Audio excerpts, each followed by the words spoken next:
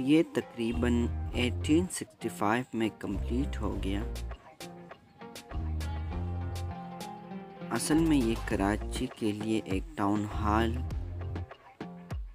के तौर पर इस्तेमाल होते हैं। और अभी ये मुख्तलिफ़ एग्ज़िबिशन स्पेस और लाइब्रेरी के तौर पर भी इस्तेमाल होते हैं। बहुत सारे टूरिस्ट और लोकल लोग यहाँ के विज़िट करते हैं। इस बिल्डिंग की अगर बात की जाए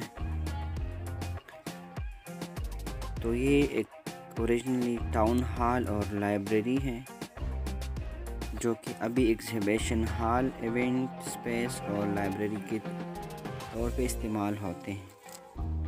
सिविल लाइन कराची के एरिया में आता है।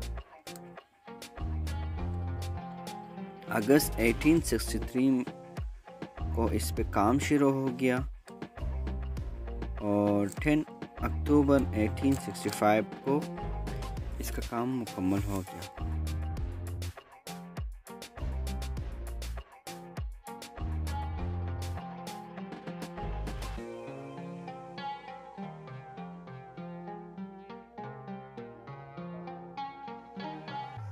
सिविल लाइन कराची के करीब वाक़ हैं,